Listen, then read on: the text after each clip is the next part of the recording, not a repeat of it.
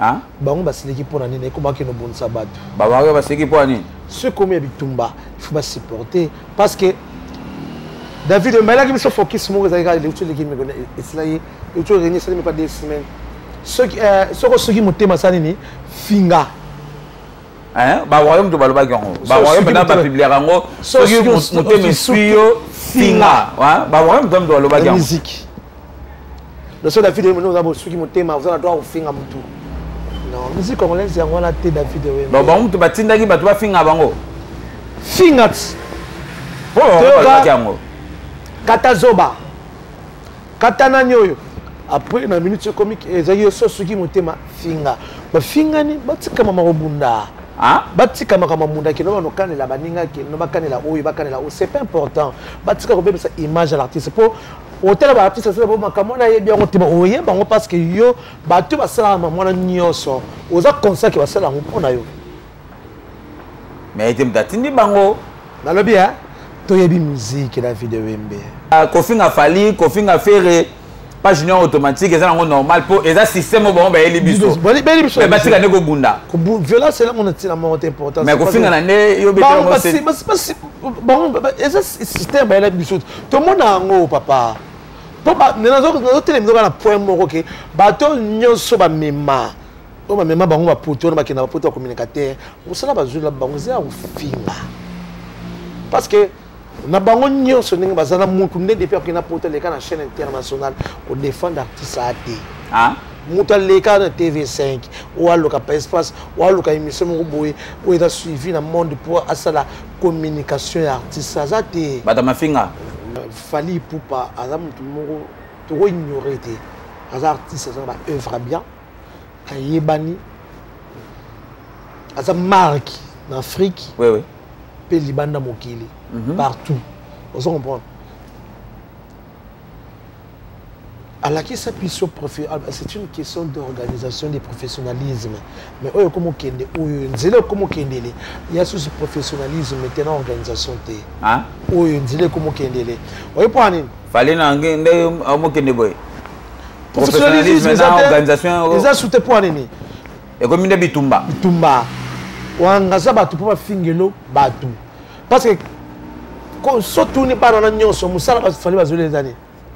arol soki asalaka pa asalaka nde na ye victime te asalaka groupe afali te ma azalaka na fali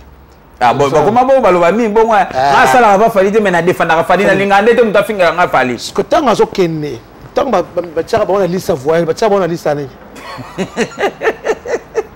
wana nde toyebaka te bata balabala omoni concert ya jibe na wera fara fara moto akufa te moto azoka te ka polisi moto yaka kopanza bato kaka polisi moto yaka kopanza mpo na 14 heure dule fe katala mais nde ezalaki bafana wera kote bafana mabange ebetama te nini te ça veut dire tozalaki bamouri ya miziki fara fara jibe na wera moto akufa te eleka nango bien ti 14 maketo bande oyokana te eleka bien jibe na wera koto fara fara eleka bien eza fara fara moko te betema plusieurs fois bongo lelo sikoyo fere boye efali boye na ndenge makambo ngo ezokende la vie de wembe je suis pas sûr oyebi po ane euh, baye na délinquance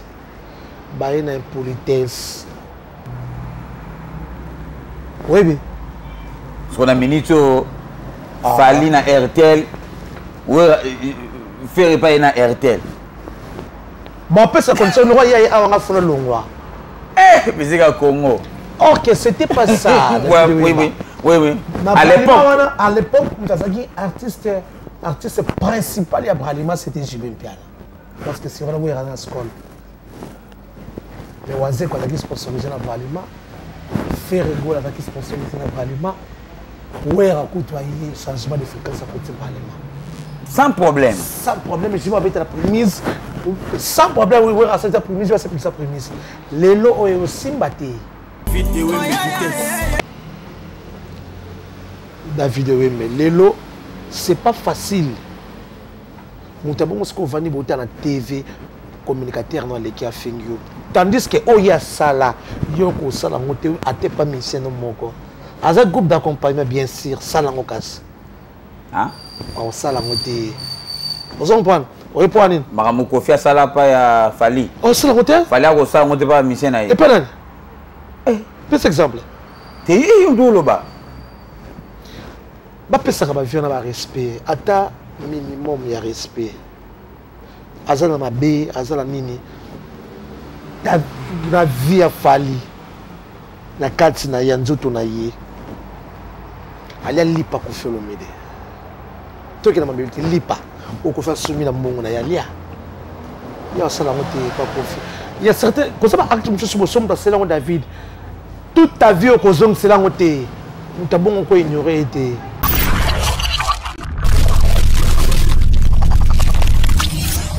Merci beaucoup, amis fidèles internautes. Euh, merci beaucoup, téléspectateurs. J'espère qu'en ce moment, vous êtes tellement nombreux. Il y aura l'émission à Bino, Bolingara Ming. Donc, on est sur www.idologie TV, David Wembe, Masolo ya Balabala, comme d'hab. Euh, Lelo, Toza Bongona. junior automatique eh, cg ya balabala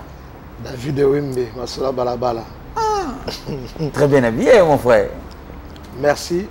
merci vraiment donc nde tolobaka code 35 mm -hmm. même sans argent ata ozala motuka te code 35 il faut toujours être propre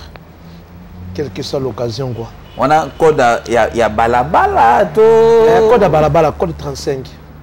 donc eza code moko eza universal na monde entier donc faut ozalaka toujours propre oui oui occasion eyebani nango te quel que soit l'occasion babengi so ezala matanga ezala wapi partout okende faut ozala toujours propre eza principe donc il faut obima na balabala ozalaka propre donc na balabala okobima yango salite te david eh, moto ozala na salite nde nini obimi soki ne place bato baza obrose mino te osokoli te osola mapeka na limili ya bato eza sens te fo ozalaka propre ntango ozokende okuta na bato mhm. ovanda na bato parce que lelo mpe moto mosusu okozala ovandi boza koindispo yo ozoloba nozoganga mai ozoindispose bato sango oyebake nde ozala na oza koindispose bato donc ozala kaka propre ntango ozokende mhm. place bato baza ntango ozobimana na porte ya ndako na yo donc ezalaka elo mofu ozala toujours propre donc logique yango wana code 35 code 35 bozalaka propre na ndenge mabe te banoko ya lwanda tozalaka propre totindi te bodefaka totindi te bodefaka oyo oh, kaka yo oza nango wana kaka sukola yango repasa yango mpenza bien tellement eza ya yo oza mpe na honneur moko boye oza mpe na valeur moko boye yaka bongo te olatela mba na yo moko ya yo moko ozobanga te ovanda mpasi mombo mokolo nango amoni ye bozuloka bato vandi okutela mokolo nango amona moto balongola ebilamba na nzoto en pleine fete donc hmm. ya yo moko ozala fiere yeloko ndako ya bato na ndako na yo moko ata eza bicoke ya yo okotika na single okotika no na kilote mais pa bato obanga okóma na mamba limite ovandaka ata mosusu ata mosusu mokolo ndako akobima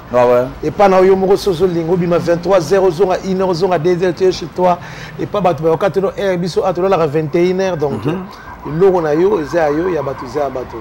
merci beaucoup à toi adisha le sénateur malgré koswana eleki to ngai na ye mais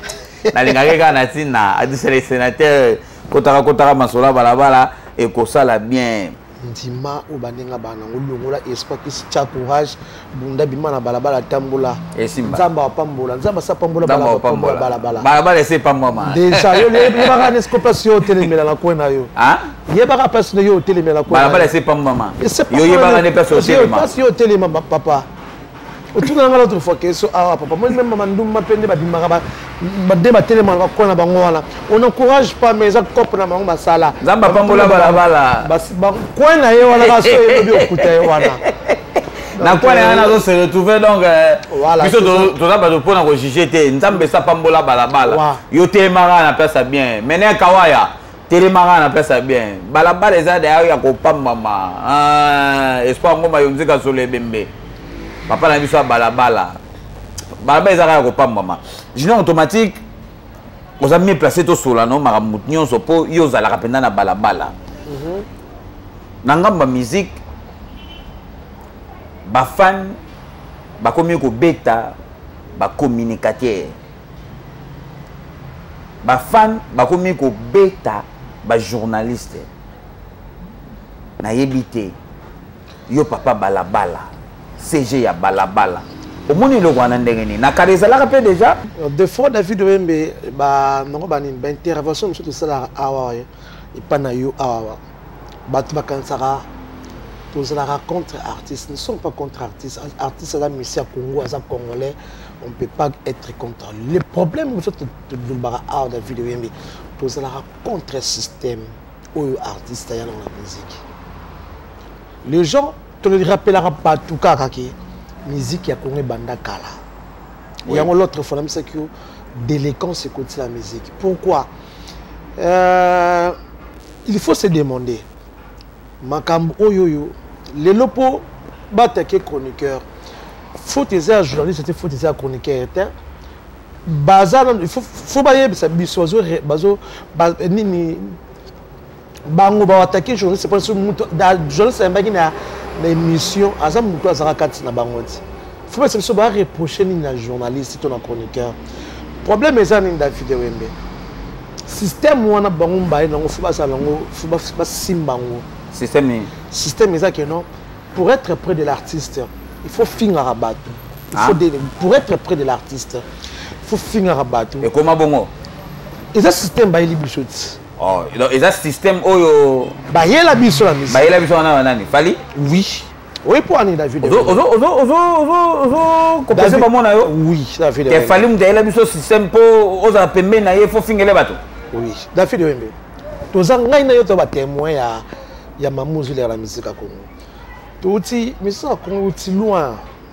peut-être par rapport avant biso mpe nano tobotama musique ezalaka déjà oui mais na ntango biso mpe tokoli awa na biso tomoni baquartier latin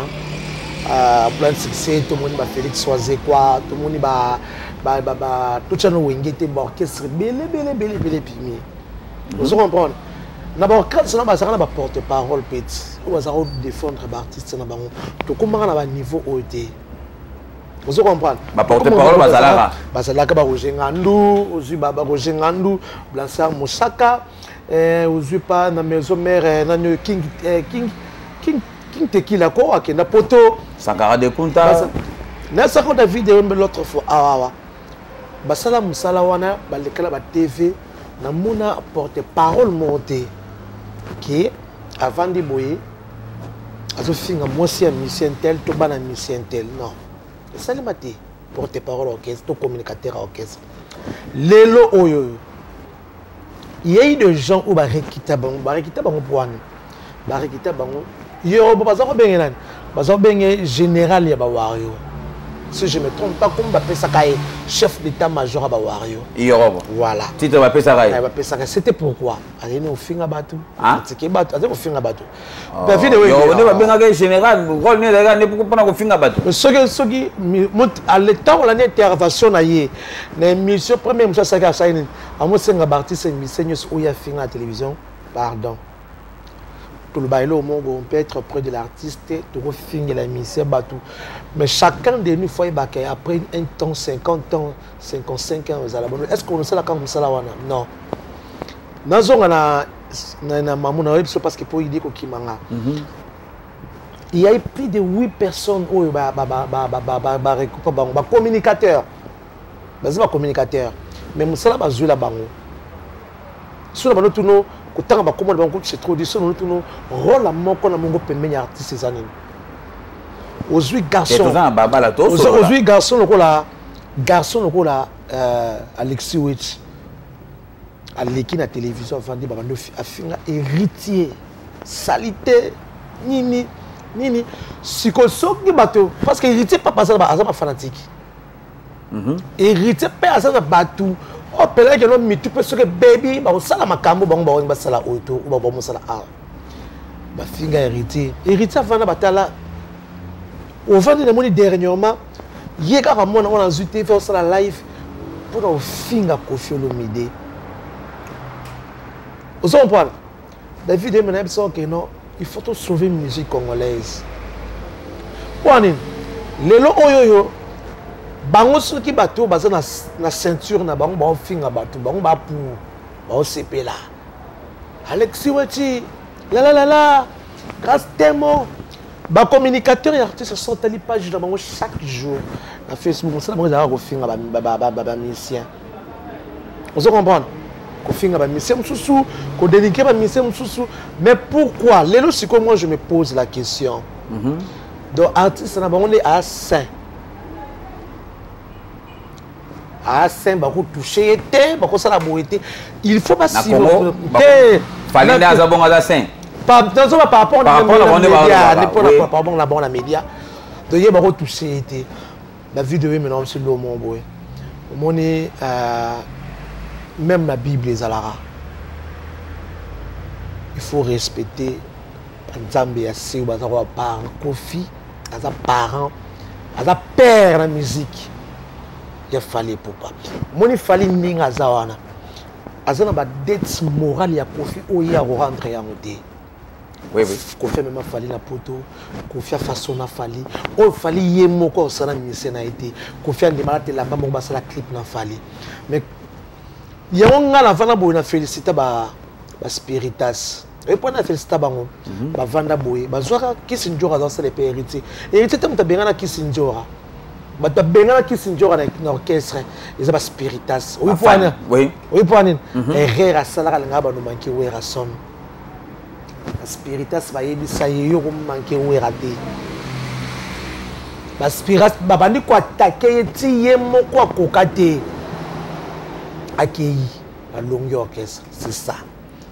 topesaka quand même à part kofi à part être kozala musicien na age wana ndenge aza wana aza mpe père de famille ti ozo comprendre mhm. artiste bino bozokomisa aza marque dépose na ye ah? artiste oyo bakumisaka aza marque dépose aza marque ya obo yango te te yo nde moto ozoloba yango david ewembe fali aza marque ya dépose ya kofelom de fabriquer par Koffi Olomide par ah. même talent na ye ba vidéo mais nous tous on a vu Fally venir au quartier latin biso tout le monde a l'amour que Koffi a lapisa ba vidéo mais Léon musique à Congo leader avant de voir son clip là c'est la même encore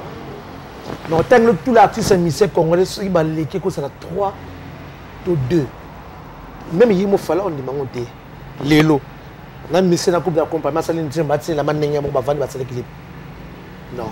fale aboya yango aolinga ah, te mais comme moi sikoyo natali boye natali motu moko aza pembeni na yo ayoleka na tv abandi kodenigre motu asalaka akozala mabe na ye ozo comprendre mhm. mais sikoyo ofandi botali alexi weti aofinga kofele nde c'est la honte nga nazwi ole babanda koatake bajournaliste babanda bafane babanda obundisa bachroniqueur il faut basupporter système obele biso na musique oyebi mpo nini bato nyonso bakoki kose taire te baza koatake bakali mpo mpe bakali aza rame moral na kofi olomide ozo comprendre yango baki koatake ye na système ya musique ekomi okende na video mais soki ekomi siko keno ekomi mpena keno bobaba ndenge mpe bango ndenge baza ndenge ba bafingaka baheritier so bato heritier bakangi moto afali na coin basali nini babeti soki batakote baleki basili bagolo bakutana moto bato bakokufa c'est pas ça l'importance la musique faut toprotéger culture na biso bato oyo bazalaka pembe na musicien fo basunga musicien misa abandi carrière na ye artiste misa aza artiste misa congo abandi carrière na ye afabrike carrière na ye na mamo tour ezalaka nango te moi je me pose la question bato wana na ceinture na ye baaporte nini te bacommunicateur oyo bakoma ofingele bato baaportele ye nini fali ndenge aza bongo ba communicateur na yo bazalaka pembeni wana bazoko ba protele rien euh, bato bazobosana ke ndenge bango baosala nde bato baosepela or ke kua bato mosusu ezochoke bango parce que télévision eza ndenge ezalaka kala lelo mwana moto avandi na telefone boye tu t'imagine ovandi botali eh, mama moko ya mokolo boye eh, kombo nazalaka so na canada so asimbi kofingelo bato mpo na fali ozali komona mama mokolo bazongisa bétise na monoko na ye oyo ekobima na monoko ya motu te bato nyonso bacomprendre ya nini eza artiste moto apoyaka mpo david abina ngai navanda no boso seli omongo nasepeli yango te naotya so pembe na ngai te karma ezo apporte rien na vie artiste ezo apporte absolument rien ozo comprendre ya porter ye lelo sikoyo bango nazo nga na fait na tele basiliki mpo na nini Hein? bango basiliki mpo na nini ekomaki nobundisa bato babango basiliki mpo na nini soki ekomi ya bitumba faut basupporte parce que david omelaki biso focus moko ezalaki kaka leutu eleki meko esila ye leutu oreni esali meko ya deux semaine soki euh, osoki motema asala nini finga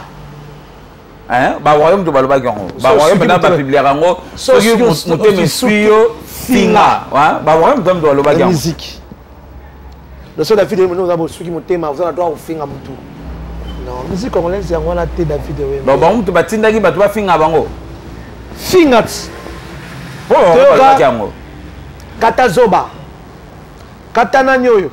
après na minute ekomi ezali yo sosuki motema finga bafingani batika mama kobunda ah? batika makambo munda kino banokanela baninga kino bakanela oyo bakanela oyo c'est pas important batika kobebisa image ya l'artiste mpo otala baartiste asala bo makambo wana ayebi yango te oyeba yango parce que yo bato basalaka mamwana nyonso oza conscient ke basala yango mpo na yo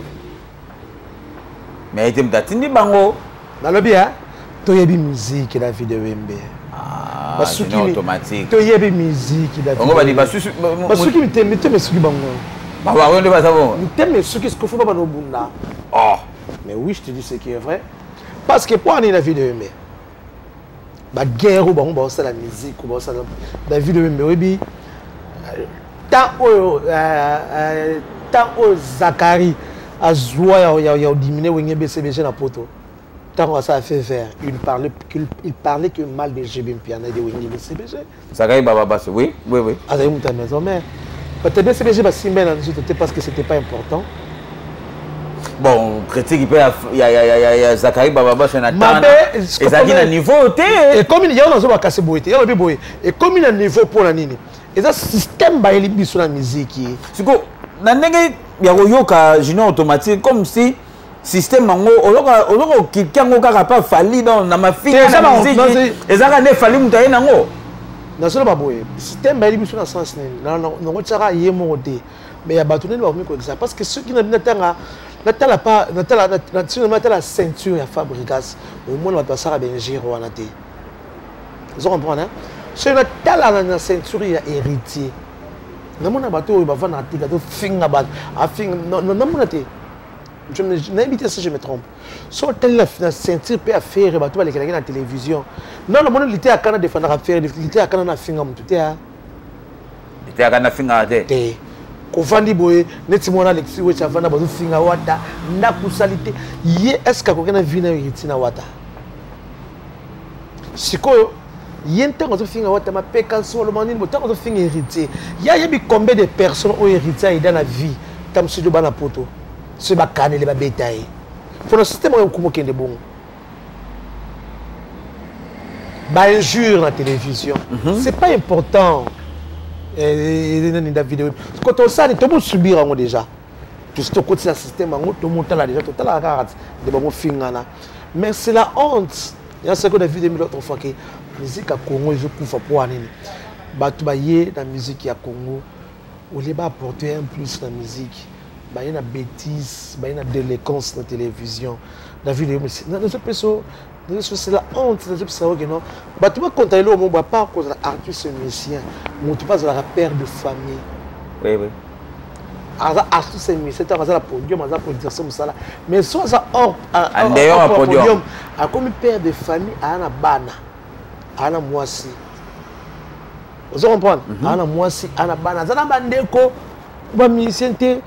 aza mpe na famille oyo baza bamusicien te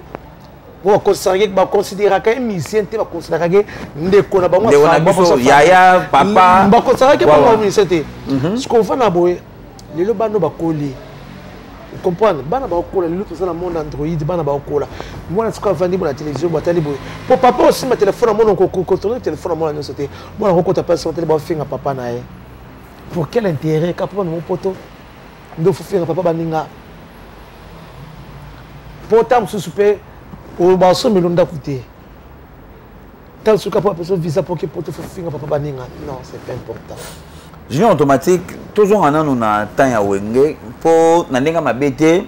ata bato ya balabala bayebi yango euh, ranking oyo ezala makasi na congo ya bamusicien lokola ya jb na wenge ezala te hmm. na temps wana ba fan ya BCBG na ba fan ya maison mère babandaki kose comporte ndenge nini entre bango na bango vrai question david emituni nga na apesa exemple moko boye david oyembe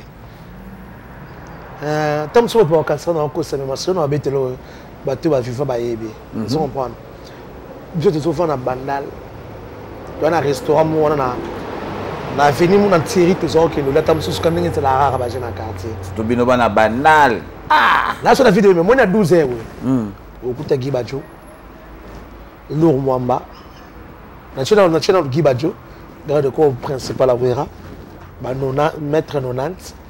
okuti maître baja ya jb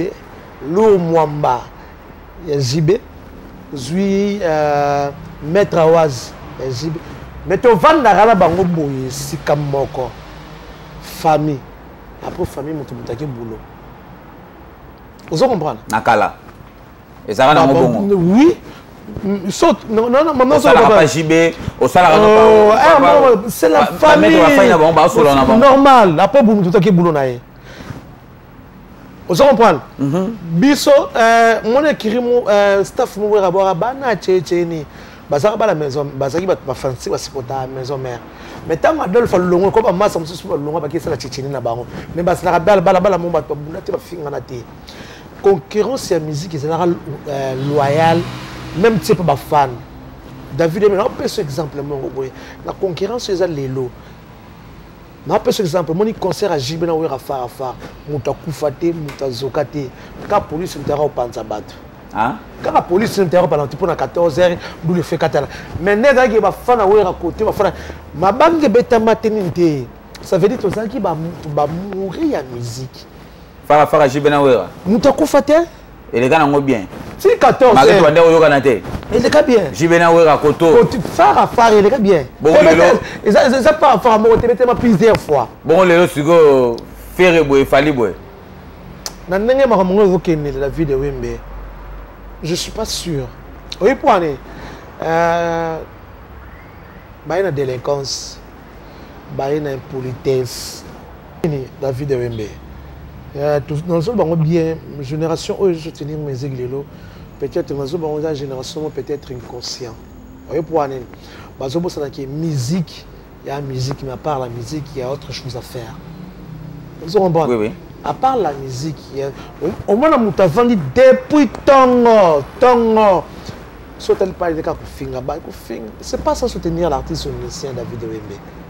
ozo comprendre c'est pas ça mais comme si on est moto ekoma ntango nalobaka po bayeba yo ofandi pene pe tobi e jeune mwa bimi mikolo azofinga fali fort toteka je mwa bimi mikolo azofinga fere fort so otali baémission ne yango baémission ezwaka bavie yango balive ezwaka banini oyi mpo wa nini david wembe en étant parent hein, mm -hmm. to responsable déjà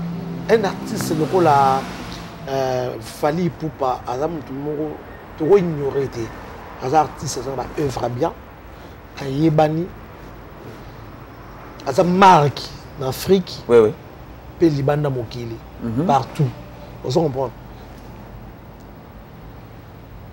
alakisa biso ah, c'est une question d'organisation de professionnalisme mais oyo ekomi okende oyo nzela ekomi okendele ya susu professionnalisme te na organisation te ah? oyo nzela ekomi okendele oye mpo nini fale nange nde omokende boye professionnalisme na organisation eza sute mpo nini ekomi nde bitumba bitumba wangaza bato mpo bafingelo bato parce que so tuni bana wana nyonso mosala bafali bazoli eza nini arol soki asalaka pa asalaka nde na ye victime te asalaka groupe afali te ma azalaka na fali ah, bakoma bongo baloba mingi bongo eh. ah. asalaka pa fali te mai nadefandaka fali nalingaka nde te moto afingaka nga fali que ntango azokende ntango batiaka bango na liste ya voyage batiaka bango na liste ya nini wana nde toyebaka te bata balabala ewembe problème tunanga nini basalaka kuna te mhm. je me pose la question bake poto deya deux fois ti bake poto bakenda poto ya oyo bakenda ya bercy na bato batokende oyo bakenda ya arena na batokende yamafinga sikoyo ntango bapesi bango visa apesi bango visa ntake banani etaki bato basala kuna te toloba bongo nde bango baloba eh, merci la vie de monsieur kona oso bwana il faut ba supporter moi tozo condamner tozo supporter honte parce que ça acte ya violence na musique eza bien te ozo comprendre mhm. bato euh, lelo osali sentiment lelo par exemple boye omoi david oyemi bobeti ye ozokisi ye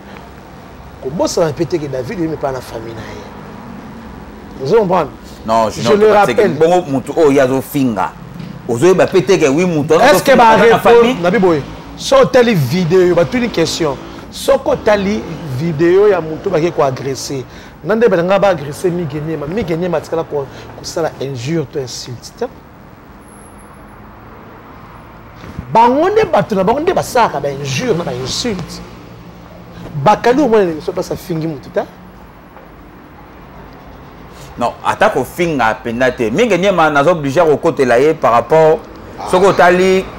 façon jael lisho ndenge afingaka mige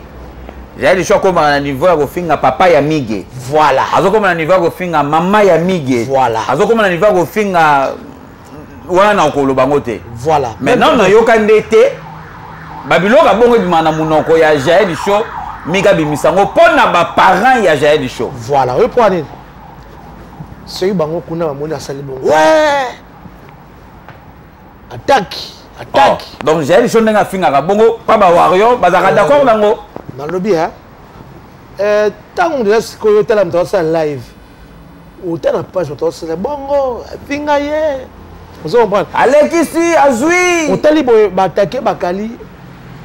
moto moto azoselaki no basali bien fale babeta ye babuka ta mbanga tout ça mpo anini naloba yango chaque jour david eme moto atikala éternel na sa mokilo aa te Même na succès ezalaka éternel te. Ozo comprendre? Même na succès ezalaka éternel te. Na vie de monsieur après succès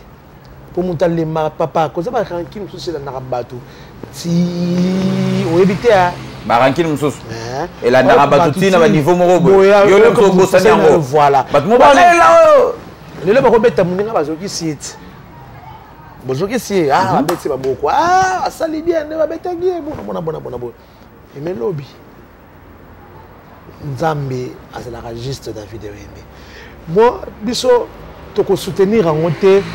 eloko tokosenga ezaka keno fo basupporte système bayela biso baevite soki bamoni kote oyo bango bazofinga bango bango mpe soki mpe motema esuki basala nini bafingi me ya bitumba na nzoto nde esala bien te ah.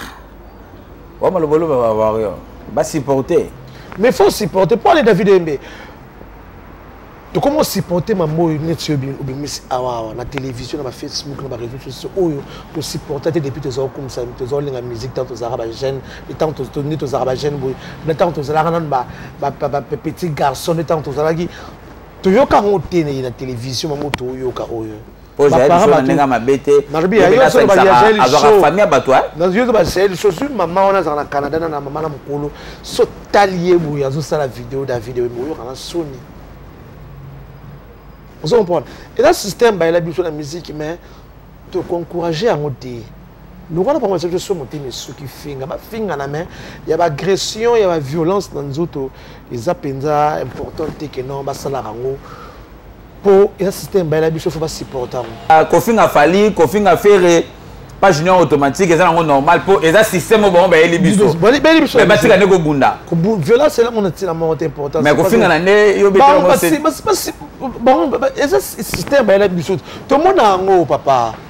po nazotelemi zoka na point moko ke bato nyonso bamema oyo bamema bango bapoto wana bakenda bapoto ya communicateur mosala bazwi na bango eza ya kofinga parce que na bango nyonso ndenge baza na mutu nde depuis akei na poto aleka na chaîne internationale kodefendre artiste a te ah? moto aleka na tv5 oyo aloka pa espace oyo aloka émission moko boye oyo eza suivi na monde mpo asala communication ya artiste aza te bata mafinga nde bakendaka bongo nde bamema bango poto bongo yo so mwana nango aleki na ta na chaîne mo baodefa aza moni moto asala oyo abengi communicateur facile te tobe bongo ema ba communicateur tosa david david mais il faut naloba yango chaque jour nayesaka yo delecance ekoti na musique il faut tosauve musique ozo comprendre mpo na lire oyo ezokendele oyoyoyo bato baoya kokufa pamba oyo kokufa nini bobe kokufa pamba mpo se komi yo beti oyoyo bango mpe kuna baosala nini baluka babeta so yo beti oyo bato oya kuna babeta ko babeta na combien donc eh, bafingana nde bamesana kofingana na bango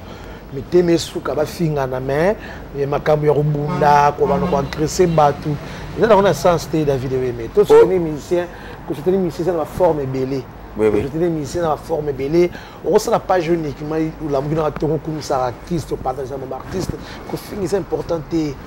to valoriser musique to longola to zona nyonso David Embe to longola artiste musicien sur le podium to longola artiste musicien sur le podium tous les missions monaka bana père de femme bazana maman mana bango ovance comme maman migene masala ni pour bafinga na télévision délinquance na musique moto asotela makambo wana eza bamission balingaka bazala baproche ya bato ya bongo il faut basiporte ye donc totika makambo wana eza ke non ya kobunda bafinga nde bafingana yo simba benda bakomokanelelana eza bien te toza biso nyonso bacongolais tosoutenir yan sako david ewembe l'autre fois mhm. il faut tosala effort biso tosalaka eza ke tozongisa musique ezonga na ba melomane na ba moureux ya ba bonne musique totika musique ezela ke non soki fala azobeta ezaka musique ba wario soki rito azobeta eza musique ba spiritas te yango moto esali mpe ndesi mwa david oyo musique eh musique ebeba na yesa kodemela david oyo musique ekoma na délinquance obi mpo na nini moto mosusu azofana na boye moni euh, par exemple nde ovandi boye david oyembe obimi noki oke concert yeba kende soki omona wana héritier na mhm. concert afali moya nkote ya te ekoma bongo ekoma eh, mpenza bongo eh. mhm. soki ovandi soki par exemple jour oyo obimaki ntango mosusu obimi na na paulo dos santos guerrier que je sali place eza Guerrier Systema bimitambusi na bodi matadi to espoir ngoma yo nzika solo ebembe présent éternel ya bacourage mpe motivateur bokende concert soka bokende concert mo bokangaki foto la fere boasolo ya droit ya concert ya héritier te ah bon bakomisi bino batalande donc batika bamourel ya bonne musique bazala laise ozo comprendre bato bakomona yo baye bato yao baye miziki mpo wana otala boye ake boye ote bakomise moto intel azwi moto mozomise moto intel eza nango na sens te na miziki miziki fo ezala moto fo azala libre amoni miconcert afere ake amoni concert awata akei batika musique congolaise ezala ndenge ezalaka mais kozala mpe warrior kozala mpe epekisami te epekisami te mhm. mais elingi eloba te keno soki david ewemba ke conseil héritier akomi moto héritier oui, oui. elingi eloba te keno soki david ewemba ke conseil afa mpe ya fali akomi warrior non ozo comprendre mhm. nayebisa ko david eme musique ezobetama na poto meme nde bawera basala baplaine baberse te badouble ezengi wana bato to aza kota ndenge baza bata maison merde bazali ba moral ya bonne musique oui, oui. lelo sikoyo il faut tosauve eloko wana mpo musique nde ekomokelele ekomosala na mpasi souvent olobaka eloko trop junior automatique musique ezokende na kobeba mais bato mosusu nde baotala baoloba musique ya congo ezokende mwana nivel moko boye ya likolo nivel david oyembe ngai tozolobela kobeba tozotala tozotala entre nous d'abord nous les congolais oui tozotala te nde bato bazomonela miziki yemata nivel te entre nous les congolais haine oyo eza na miziki ya congo lelo kala ezalaka te haine oyo ezali na miziki ya congo ekota lelo na miziki ya congo ezalaka te david oyembe napesa exemple moko bolelo omoni euh, fali ntango abandi miziki bawario balaka te groupe wario bazalaka te bato basoutenir fali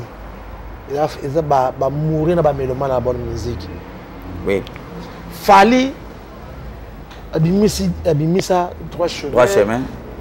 fali aza kokende concert ya wera fali akende baconcert ya jb ayebi pa matisa podium apesi epasali mwa vocal ayembi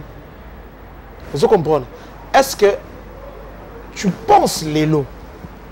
basasa waya avant ozoloba nga kuna nalobi est ce que tu penses lelo waya omoni toza na toza na omoni toza toka nini vie bokolo eza okenda vie bokolo aza na mpe bwaki mpe concert awera aye mpe concert azwi bien tovandaka totalaka banigérien wana banigérien oyo babetaka nani wana batali jour natali boye eh, davida azobeta boye natali kote kuna podium ono bamisien comme bamisien niger bate baosoutenir frère na bango batelemi baye na bango kaka concert lelo na musique ya congo c'est difficile esimba eh, ta omona keno wata obeta mpe boye eh, wat héritier azobeta boye ta mosusu mpe ferre ake fali pake tala oyo concert ya wata bawario baloba esopi esopa esopa bango esopa wario supreme bagola bakoloba esopa golwa supreme baye po baye napesa exemple moko fala osala anniversaire na ye abengisa na ye na nani abengisa jibe na wera wera aza contre ta jibe akenda ti mpasi asala réception ti eloko wana na miziki ya kongo eza susu te miziki ntango na miziki ezoba na sens nini yango wana miziki ya kongo totala david me nayebisaka yo awawa ke force oyo miziki congolaise eza nango lelo eza force oyo efale mpa ezala nango te congo rdc abetaka meilleure miziki ngai atali na canal france eh, na france 24 na émission moko elekaka dimanche moto azoloba ke meilleure musique oyo eza na mélodie ya musique ya rdc ozo comprendre mhm. omoni lelo bayokaka anglais mpo eza langue internationale mais vile memoi musique na biso oyo soki tozwaki bango na france nde totasko fierté ya mboka na biso toyembaka musique na lingala meyebana partout ta niveau tolobaka mwa baparti moko omoni badavido avantage yango baloba mwa monoko moko na mwa musique na moko plus basé na anglais eza langue mo bato baloba yango na mais biso musique na biso ezala imposé david emetan bazo biso na 2000 ans kofi abeti abeti bercy ya 20 000 22 000 places bazo base le premier artiste africain premier artiste noir pa abeti wana miziki nini abeti wana miziki ya ba rnb te abeti wana na ba hip hop te abeti wana rumba congolaise lingala na lingala pa plus ozo comprendre mhm. eza miziki na biso eza miziki mosusu eza numero 1 na afrique efali azomema yango te komema yango ah, david wembe obaye komema miziki na biso wana ndenge forme ezokendele lelo eza forme efali mpa ezalela david oyembi koloba kefali moto azomema musique ya congo moi je dis bon ezo opinion yango nde yo olobi selon eh, bato baba mpe balobaka lobaka yango nalobi na cadre komema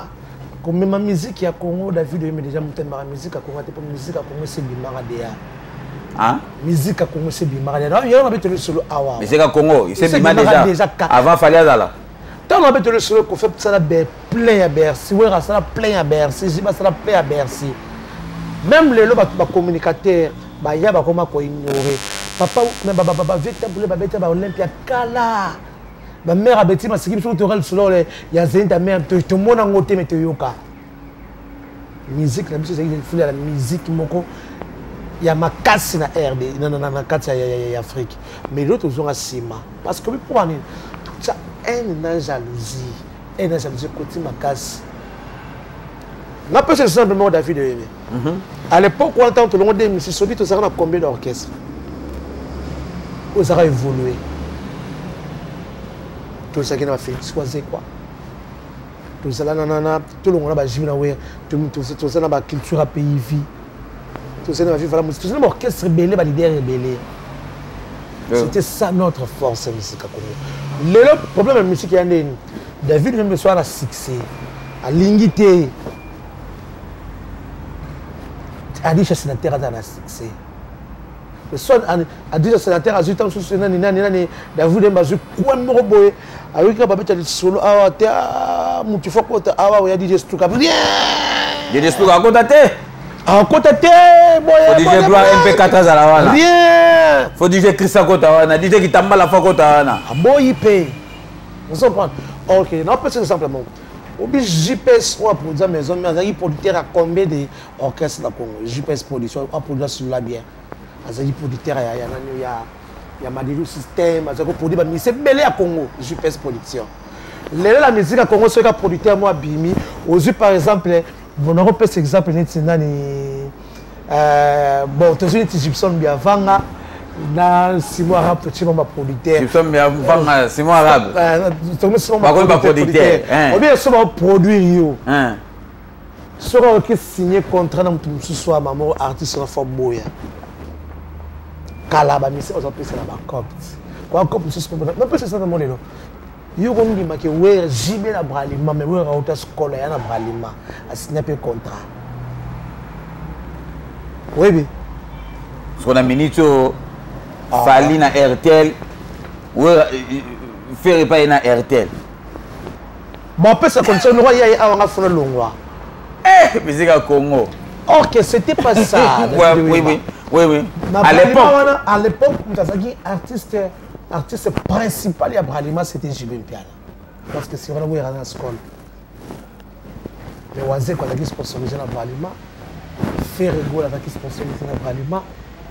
wera kutu aye changement de fréquence akoti malema sans problème sans problème ezima abetela primise sans problème wera asalisa primise basepelisa primise lelo oyo osimba te e osimba te musique ya 2006 ebebi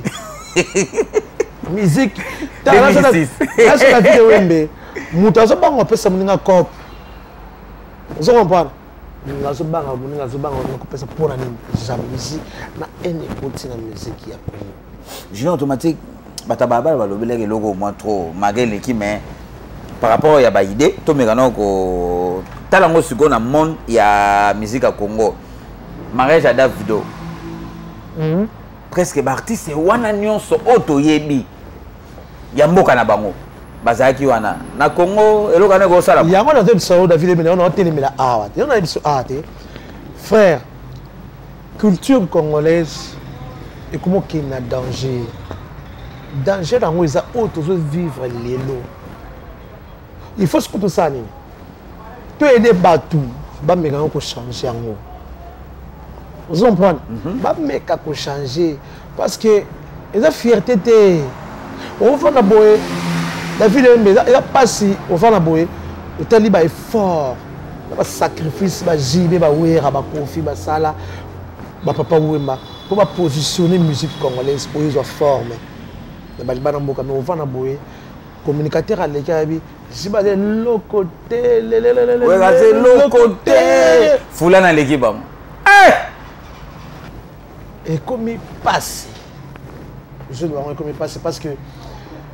bachemin wana evidemment faut kondima effort ya bato oyo basala napesaka chaque jour exemple awa euh, yai lelo il nous reste deux ans mpona 20 ans de carrière ya artiste est ce que bato batravaille na ye qu'est ce qu'ils ont bénéficié dans le travail hein? bato basali na ye oyo baokende ba 15 ans qu'est ce qu'ils ont bénéficié dans le travail oh. ongoloba nini bato wana pembeni afali bana bénéfice te euh,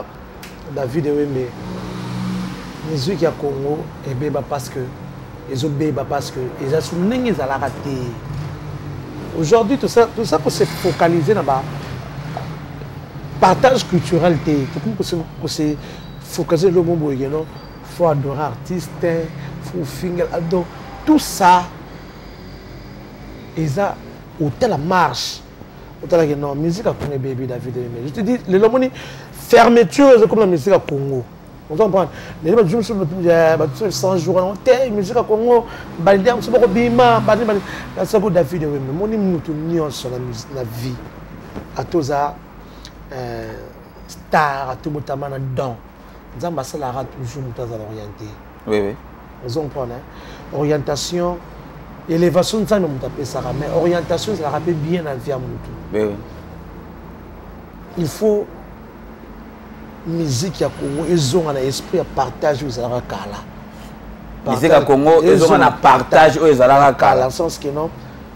eza conseil na apesa bamisien nyonso na balider nyonso bapesa mpe batravers bapembe na bango bachance ba évoluer kopesa musicien vocal c'est bien à participer na disque na yo c'est bien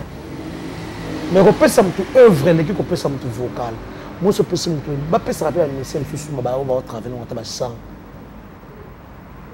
oza comprendre avec cœur ouvert te yo travail nanga tozwa nzembo oyo nzembo na ngai moko mpenza lider na me napesi oyo ye oza bato basalango oui testa bien nga mobina na bongisi yo bina yemba yango na pesi yo luka mutu yemba oui ozo comprendre na oh. na même na même idée ndenge olobaka totalaka tomona na musique ya Congo tomona Fally Koffi afaka temps mpende ya kopesa forme yango olobaki nono awa na ebandeli kino culmpe wera azwaka temps ya kopesa ye forme comme si bango na baorchestre na bango baza na bato bazopesa bango forme te nayebisaki yo na ebandeli awa omata okita omoni il peut tout faire mm -hmm. ignorance nenga lelo oyo otali na télévision vani bamobenga yorobo ingrat o yorobo boye tosali ye boye tout ce que yorobo azosala oyo oyo eza bango balakisa yango ti oyo yorobo aloba oyo oyo oyo yorobo asala oyo nyonso eleka na télévision yorobo ayokela yango wapi pa bango ayokeli yango kuna makambo nyonso yorobo osala ayokeli yango david ewembe pa bawario david ewembe moni mwana nyonso azobima na ndako apesaka euh, apesaka publicité ndako na bango mwana sota pala pa bango bazaka impoli doye bakenda kasi somo mwana somo na mwana impoli seke pa bino pe bozaka impoli mhm. yoko boni sanga na bana ngai te tutu kaka ote atambolaka ye boso te baye na ville na tambolaka tambolaka tambolaka neka pama pama pama tambolaka tambolaka na ye lelo totali boyo bakomi mpiri mpe akomi mpiri mpe safali yoko mo mofinga bato yoko bafinga héritier yoko bafinga ferre yoko baboya mambo tout oyebi mpo na nini eza façon oyo bankadrele ye moi je le dis chaque fois ce que fali aujourd'hui c'est l'amour et l'encadrement de kofi olomide oyebi mpo na nini il a transmis le paix qu'il avait en lui kofi olomide wa oyebi mpo na nini david oyebe nalobanaesiki on ebandeli awa c'est pas facile leader asala clip moko ya nzembo na nzembo na ye moko ateke yo te moto otekeli nzembo ya ye moko ayemi ayebisaka mhm. toyemba wewe andimi mpe bolata bilamba ndenge moko wawa david wembe lelo c'est pas facile moto abongo soki ovandi bouta na tv communicateur no aleki afingi yo tandis que oyo ye asala yo kosala yango te ate pa misien no moko aza groupe d'accompagnement bien sûr sala yango kasi osala yango te ozo comprendre oye mpo ya nini makambo kofi asala mpa ya fali osala yango te fali akosala yango te mpa ya misie na ye epa nani eh. pesa exemple te ye yo nde oloba bapesaka bavio na barespect ata minimum ya respect aza na mabe aza na nini na, na vie ya fali na kati na ya nzoto na ye alia lipa kofi olomide toki na mabeli te lipa okofi asumi na mbongo na ye alia ye asala yango te pakofi ya certain koza baacte mosusu bosomba asala yango david toute ta vie okozongisela yango te moto abongo ko ignore ye te sikoyo c'est la honte sikoyo kova na otala télévision boye moto azalaka proche ya david oyemba oleka mpela boye amofinga david lelo on doit reconnaître on doit reconnaître une chose que place musique ya congo bato batika kosala bakopesana kobeta oh, bona boye bamisi ya congolais babeta basala tout partout ntango nalobaka bato baya komona nga tous les pays fale nabeti pays moko te okofia beta te oyaka beta te kofia ebeta na australie ta sikoyo ye pa lobi bobeti ba paris bobeti ba belgique mais tala sikoyo australie bokendaki te Ah, et c'est ça qu'on pense la musique. Il y a des gens qui basali ba, ba, effort pour la musique congolaise était ma place wana. Pour la musique congolaise ils ont respect wana. Kuza batu ba bundi. Mhm. Vous en parlez. Yo kuyo zobeta non ça veut dire pas que le roi yo yé dioko mobeta pobi non naleki bango david wembe nayebi biso lelo biso tose sacrifia david wembe naloba yango chaque fois awa bano bakomisa musique lelo awa soki na bandako na bango tu moto ana cd original aya te moto ana cd artiste ya musicien aya te akoyebisa yo eh, eh. akoyebisa yango te bon tokei na technologie lelo bango bana bango kosomba nzembo sur internet so otuni bango bato basombaka banzembo baa te bazela yango na whatsapp na bluetooth na char mais biso tozalaki ndenge moni diske ezobima eh? ozolinga moni ndenge mundele azalaka fiere ya kozala na cd artiste na ye eza fière biso tozali kozala fière na biloko wana ata ti na sante mofandi bozalaka na cd original ya jb na ndako na bozalaka cd ya wera ndako bozalaka cd original ya presi na ndako na bino ya original bapere na biso bazala kosomba yango david emenga na botema na kuta ba 33 tour na ndako na biso batata tour ezalaki original mpo tata tour ya pirate ezalaka te ezalaki te sikolela otango pere aluka yango te baluka nzembo mwa franco ya nini yo boye amisi 33 tour original lelo c'est bien tokomi na nouvelle technologie mais est ce que baosomba soki bafanatike bafingaka bato oyo lelo balobelaka bamillion de vie bazalaka mpena kosomba mais baartiste congolais banga bazala baartiste plus riche ya na congo oyo mpo ani soki neti artiste par exemple na youtube nana combien de million ana 10 million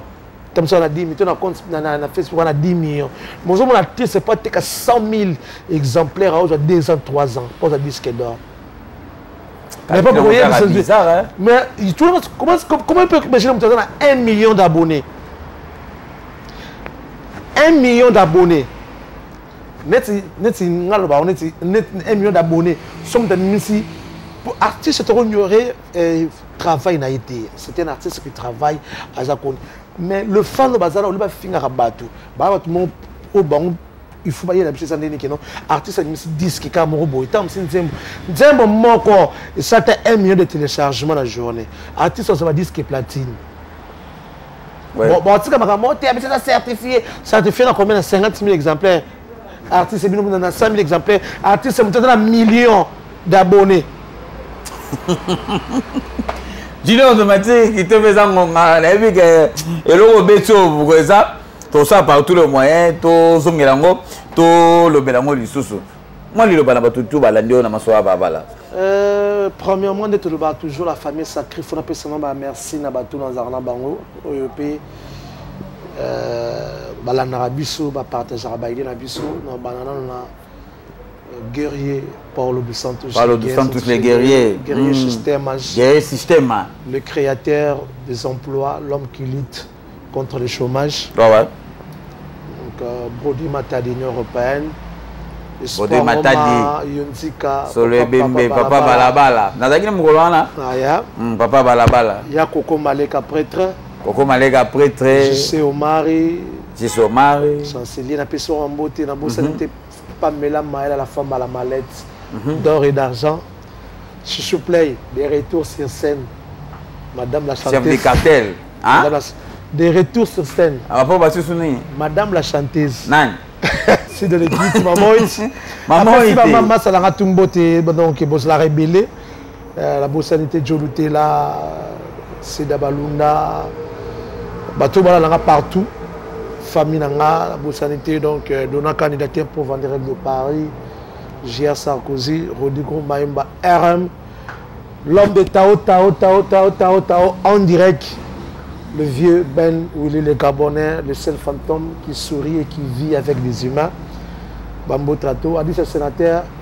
merci na mpata nzanza anza nzosi mpo na espace apesaka biso ah na video wembe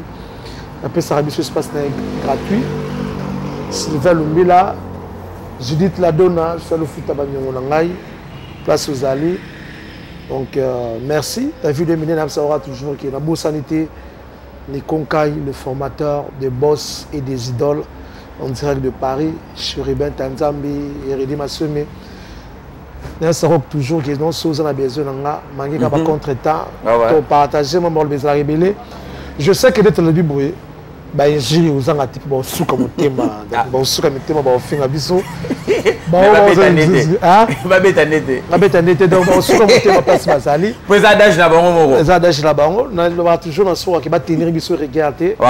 tokoki oyo tolobaka tokoki tout le monde akozala d'accord na bapropos na biso te eza koengage ke biso par rapport na ba idée oyo tozali nango tokopesa donc idée ya david owembe to idée ya alisha sénateur to idée ya samira meka to idée ya messi lumbanzadio to ya envie mayo fort ezala idée na ngai te moto na moto azala na idée na ye le problème qu'on doit toujours partager oyo amoni ke euh, parti mona lobi esepelisi ete je m'excuse mais asuka nde motema te po afinganga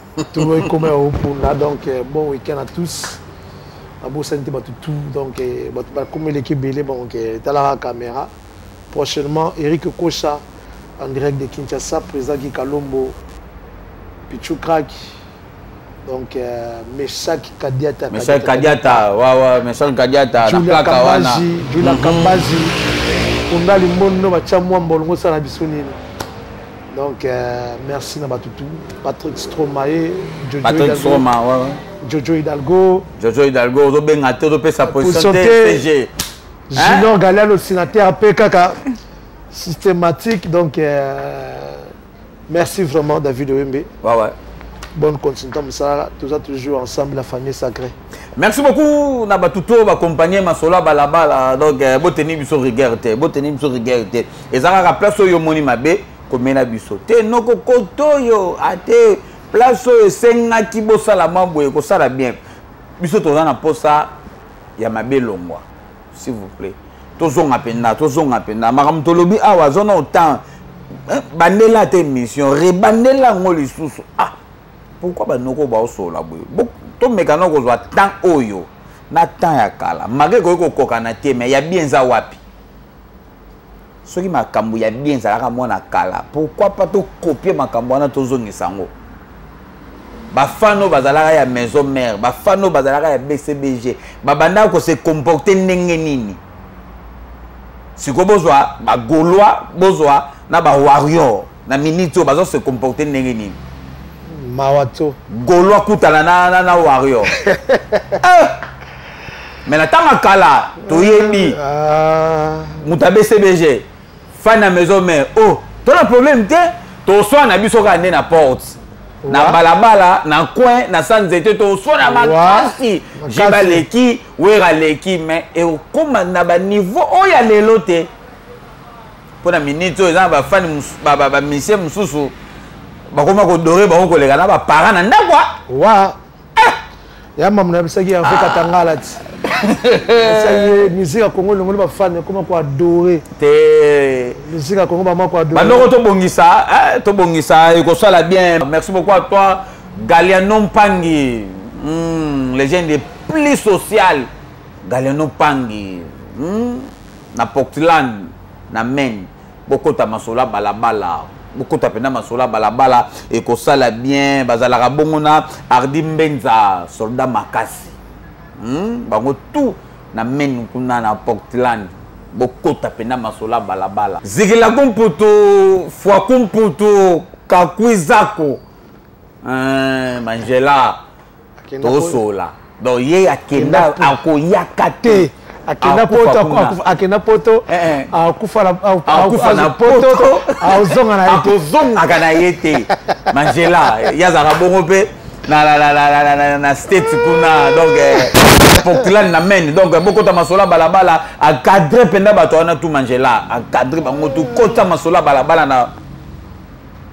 na menu wana fiston mukende abeda suda ngola kota masolo ya balabala tuta le padre anelka le padre na niveau états-unis kuna naloba nazobenga nga te qu'est-ce qui se passe anelka le padre bokota masolo ya balabala ekosala bien qui to travel patrick kimbondo kota dossier ya masolo ya balabala kota mpenza dossier ya masolo ya balabala